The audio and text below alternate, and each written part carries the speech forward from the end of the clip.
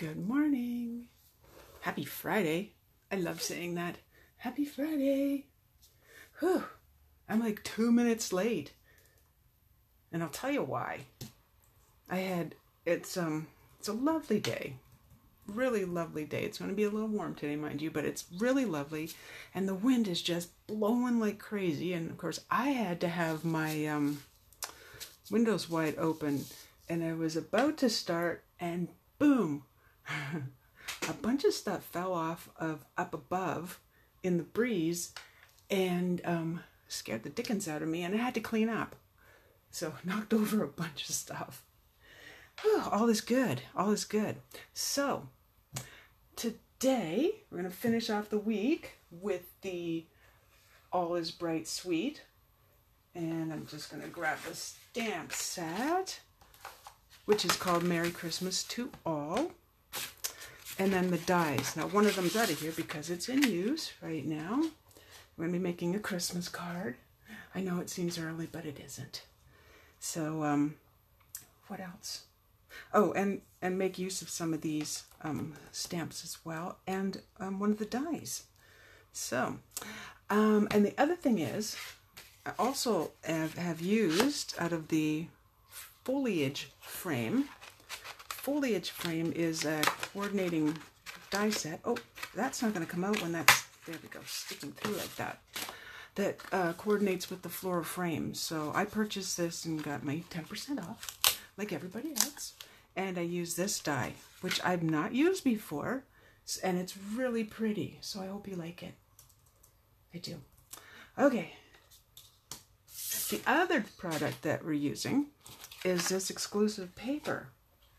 And I say exclusive because um, it's only available through a host, um, a hostess party.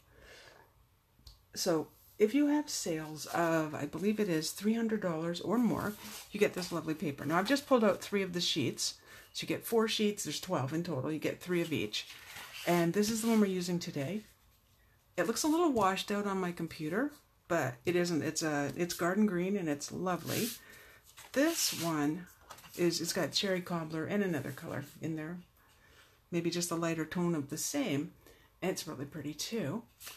And this one, which is it's, it's I'm not sure what those flowers are, but very geometric. Now let's flip it over. And you have some kind of like a newsprint looking, but the print is in the um, garden green again. This is really pretty. I always want to turn stuff. I want to turn it this way for some reason. Anyway, so I'm going to call them poinsettias. Let's go with that, okay? And then these stripes. And I won't go too fast because they're going to go wonk, wonk, wonk on the uh, screen. So now you can either, to get that paper, I mean, you, you place a, your own order or you have a party. And I have time. The only thing is, it's only till September 30th and then it's gone. It is gone. Let's see what else I needed to tell you. Think that's it. So let's bring in the pieces. I've done a bunch of the die cutting already. So, and cutting, obviously. So there's the base of the card. Going to be using gold foil paper. I'll cover that up a bit so you don't get blinded by the light. That's the inside of the card, so we'll set that aside for a moment. And here's that uh, Oh, hey, let go, let go, let go, let go. What's that? The foliage frame. Now, I think the idea with the foliage frame is that you cut another circle and then you have greenery sticking out. But for my purposes, which was to have Christmas done in gold, I really didn't think it needed anything else. You know, I think that's all it needs. If you were watching my video on Tuesday, and you can go back, I used the um, Oh, self-adhering. Good gracious. Hang on. Hang on. You can't write everything down. I used these multi-purpose adhere adhesive sheets, which helps you put on, mm, well, not just like words and such. I just got rid of the eye. Did the eye, oh no, the eye's still in here. I need the eye. Where's my tool? Here we go. Hey, Carol. Hello. All right, so here's the um, take your pick. I think that's what it's called, tool. I always want to call it something else, so There, I have to poke out the eye in Christmas. There we go. There we go. So usually I have the palette end out. Well, and I'll switch it to that because it's sharp, of course. You know, of course it is. It has to poke things out of the spot. So this card will come together really quickly and don't lose the dot on the eye. I'm so afraid. I'm so afraid. Give me one moment. My uh, ink, here it is. Okay, so we're going to use Garden Green and to go with the paper. And I have the Merry for Christmas. I have the Merry stamp ready to go. So super, super easy. Tap, tap, tap. Remember, don't gush it in. This is, well, if your ink pad's older, you may have to, but not with mine. It's there.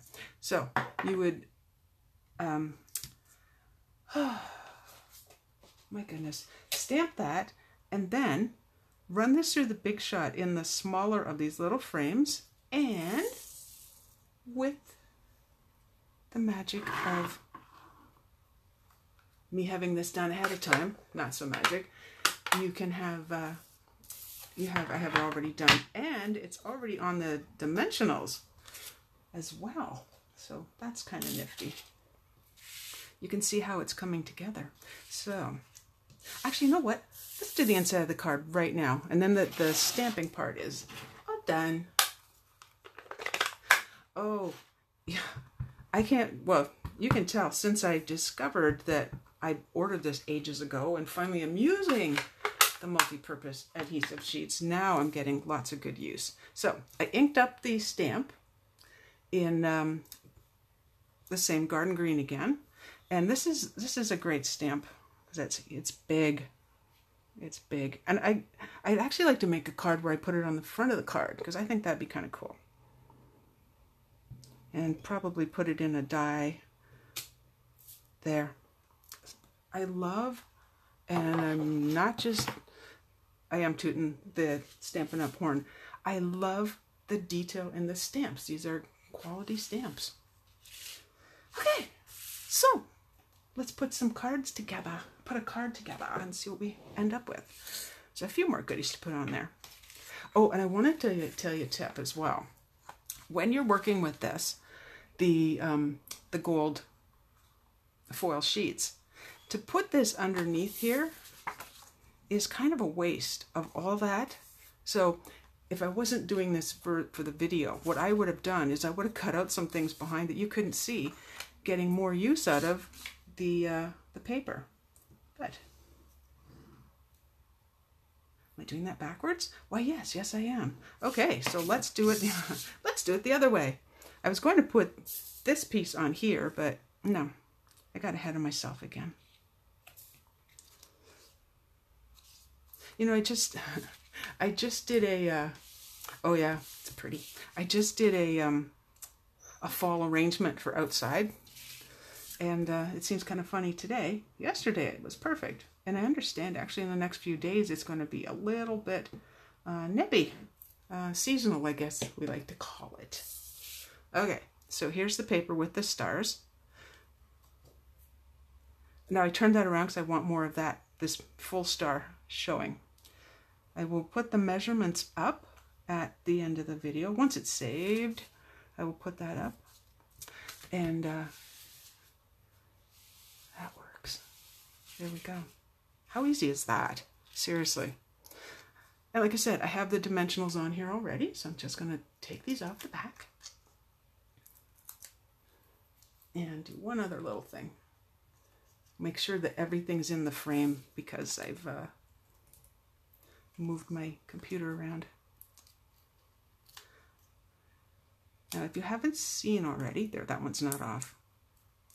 If you haven't seen already, my deal of the week is, do I have them handy? I do. I've used some, so you get a new package, not this package, obviously. These are the red rhinestones, and they don't show up well in the picture, but uh, they are really pretty on cards. So if I do that, of course, I'm in the package, so we're probably getting a wee glare. Mm -hmm. Alrighty. Um, but anyway, with a with a um, $60 order, those are yours. let's see. You know me, I don't want it in the center of the page. I want it a little bit north of that. So here's how these work again. Alrighty.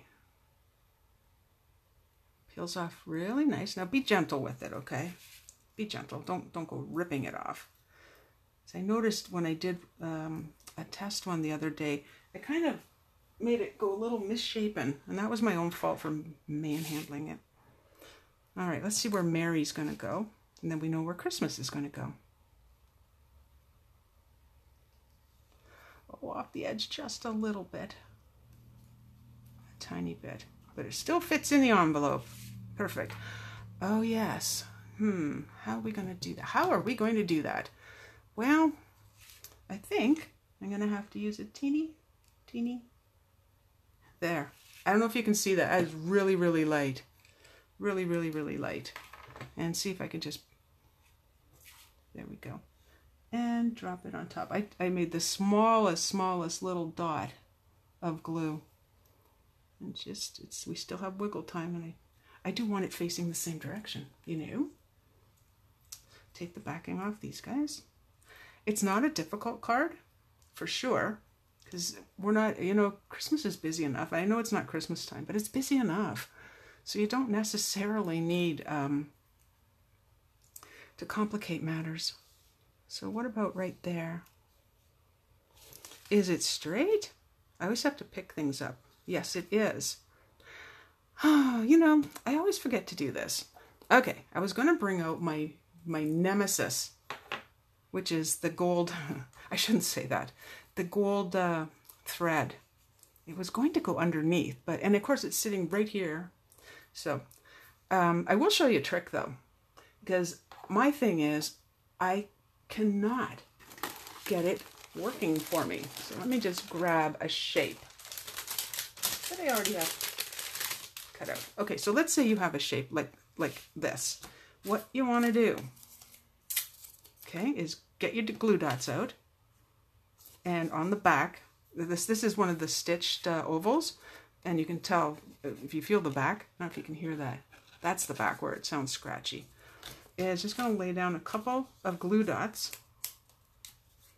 Okay, and then you take your gold thread, and actually, yeah, I'm going to wrap it around my fingers first. Okay, let's hope it works. Let's hope it works. Some people find this really messy and it's supposed to look a little wonky. It's supposed to look like it's, um, I don't know what it's supposed to look like, but okay, might not have put made it big enough, but we'll see. You know what? Lay down one more glue dot. Maybe one closer to where I think I'm. Oh, they are sticking to my fingernails this morning. Totally. Oh, I took off some paper. Well done. My fingernails are wet because I just, just did them this morning in clear. I always use clear. Don't know why. Alrighty, grabbed another one. So it's going to be wonky, but you'll get the idea. Attach it to your glue dots. And it's just a, put something underneath that's dark. It's just a little bit like sticks out off the page, off the, uh, the background. And I would trim that tail, of course. But I forgot. And I still have to get the glue dot off my fingernail. There sometimes I amaze myself at the stuff that happens while I'm making. Ah, yes, just about as fun to work with too. Um, as spun sugar. Okay, get all the things I don't need off to the side. Now what I do want is to put a couple of these um, metallic uh, pearls on. Remembering the rule of threes, okay? just like you do when you're working at home on your house. So let's see. Picking a triangle. And again, like I, I'm, you know what? I sound like a broken record. Make them wonky. Make your triangles wonky. I wonder if I could put, don't want it too close to the eye because we don't want to look like I I Eye, eye. One, two, Oh, and I have one that's loose on my finger. You, come with me. There. And where are we going to put that one? One, two. That makes it too even of a triangle. Yeah, up here. There we go. Yeah, don't make a perfect triangle. Not a perfect triangle. Okay, so there's the front. Now, what I did notice is, let's say you're like, oh man, I put that in the wrong spot. You can peel it off and do it again. Which means I, I can't go too far because I have the eye already attached, but you get the idea that you can actually remove it, put it back on. Ta-da! Now stay. Again, over the edge a little bit, but my envelope is bigger, so I'm not too worried. Okay, and then we do the inside. Now we're not done yet. We are not done yet. I didn't check the size of this. Oh, no worries. Like I said, I distract easily. We are going to do the envelope as well because it's going to be Christmas time, and Christmas time means you want to go even, go big, you know, go big. Now, hopefully, which one? This one. Okay, so I'm going to decorate the back of the envelope. I just got an order in yesterday with my more snail. My more snail? With more snail. There. I want it pretty close up to the edge here. So I do want it to stay in place. So just take my time, make a nice thin line. Now, I decided in this case not to use the uh, multi-purpose liquid glue because I want something sticky. Not that it isn't sticky. I don't want it runny. I don't want I don't want movement. I just want it to go where I want it to go and stay. Wow, isn't that pretty? We're not done. Okay. And then you simply, you're going to cut around. Like, how easy is that? I may have demonstrated that before, but you know what? I can't say enough times how, how much just the nice little finishing touches make everything really pretty. Yes, your order arrived yesterday. I am delivering on Monday. I would get into that. Yeah, I was surprised. The dog started barking, and I'm like, what? Why is what? What? And, and the truck wasn't even in front of my house. It was in front of my neighbor's house. So I said, nope, not for me. Um, and then there it was. So I haven't separated everything. I did get out my snail. Okay, that could be up a little higher, but you get the idea. So that arrives in the mail with your pretty envelope. How nice is that? How nice is that? And that is your card for today. Now, before I forget, do I have my paper? I do. Okay, I have some upcoming classes. They're not yet on my uh, on my blog, but they will be. So, few things that you want to know. Oh, you know what? I wanted to show you um, the card. Um, the card from Tuesday as well. So this is with the same set. Just a couple extra little embellishments. And then the inside of the card. Stay. I'll make that stay. I will make that stay. I didn't press it down hard. When you're ready, press it down hard. So the classes will be on October 25th and November 29th. Thank you. And um, I will put the details on my blog. And if you have bonus day coupons, they are going to expire in nine days. Okay, so make sure you make use of those. And then, now you can place your orders through me or you can do them online. If you're going to do them, going to send your order online, then the host code is on my blog. But here we go. T uh, 9T A A. Let's check my pen penmanship. B Z. These are never like really simple. 3J. There you go. So there's our cards. Oh, I could have done that envelope too. Hmm, I don't think I have that paper handy. I have other paper, but um, that's all she wrote. And there you go. Thank you so much for watching. Please share with your with your friends. Get your name in the draw. $60 order gets you the these little pretties. And um and um and um and um this is so funny because when it goes on YouTube, I'm gonna sound really silly. Um, yeah, I am on YouTube, Instagram, Twitter, and all through my Lolly and Sand. So lollyandsand.blogspot.com and so on. Um, that was the uh, All is Bright suite. Uh, where was it? Oh yeah, on this one is where I use the uh, what's it called?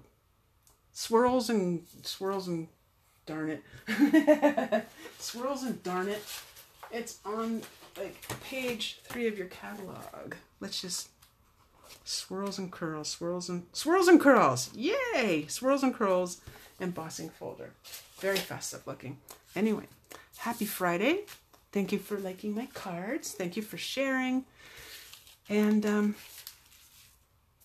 I will see you again on Tuesday, which is when I do the draw for um, uh, the um, Price Patrol. So I will see you again.